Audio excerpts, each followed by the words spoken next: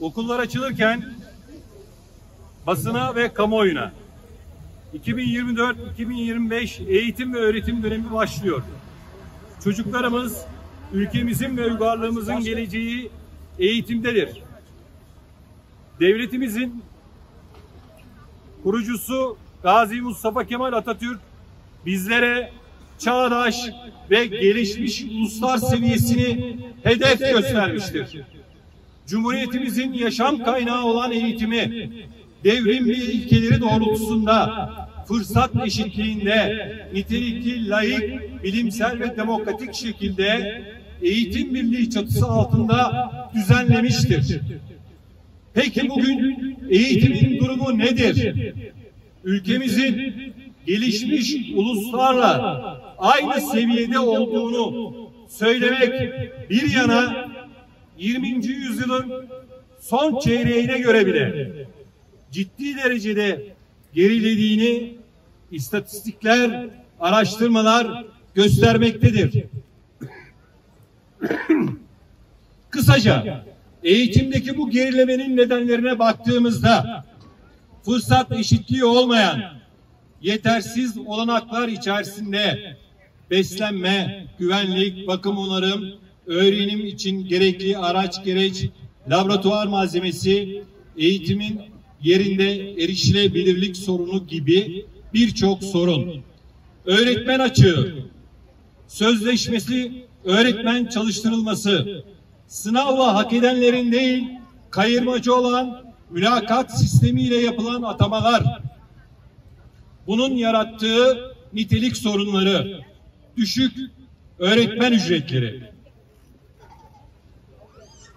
tasarruf yapılamayacak bir konu olan eğitimde ailelerin, okulların bütçe yetersizliği nedeniyle dolaylı olarak giderlere katılmaya yönlendirilmesi, veli ile üst yöneticiler arasında kalan okul yönetimleri, bakanlığa göre bütçe var, para istenmiyor ama resmin arkası ve gerçekler öyle söylemiyor. Dokuzuncu sınıfta tekrara kalan meslek lisesi öğrencilerinin yüz yüze eğitim dışına çıkartılarak MESEM uygulamasına yönlendirilmesi, çocuk işçiliğin önünün açılması. Cumhuriyetten yana taraf, siyasilere karşı tarafsız olması gereken bazı kişilerin kendi ikballeri için siyasi partilerle ilişkileri, öğretmen meslek kanunu taslağı ile getirilmek istenen ve öğretmenlerin uzmanlık belgesi olan diplomalarının neredeyse yok sayılarak atama bekleyenlerin bekleme odasına alınması anlamına gelen Milli Eğitim Akademisi.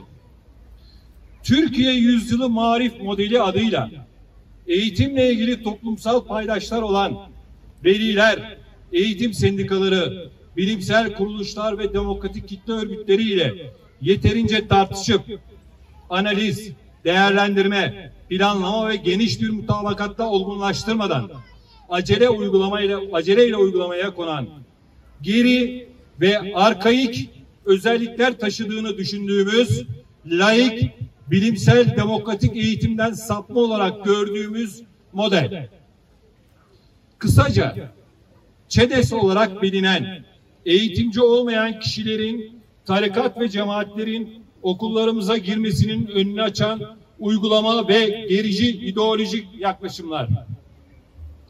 Okul görünümlü tarikat ve cemaatlerin kontrolündeki yurdun her yerinde türeyen medreseler olarak eğitimde fırsat eşitliği sağlayacak fiziksel ve nitelikli olanakların yaratılması, öğretmen açığının mülakatsız olarak hemen kapatılması ve ücretlerinin iyileştirilmesi, Cumhuriyet devrimlerinden taraf, siyasilere karşı tarafsız olacak şekilde sistemin güçlendirilmesi, ÇEDES, Türkiye Yüzyılı Marif Modeli uygulamalarına derhal son verilmesi, eğitim akademisinin yasa taslağından çıkartılması, medreselerin derhal kapatılması, devlet okullarının nitelikli ve güçlü hale getirilmesiyle özel eğitim kurumlarının azalması, çocuklarımıza eşit ve parasız nitelikli eğitim olanağı yaratacak, eğitim ileriye doğru sıçrama gösterecektir.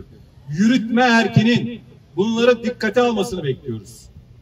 Biliyoruz ki her şeyden tasarruf olur, eğitimden tasarruf olmaz.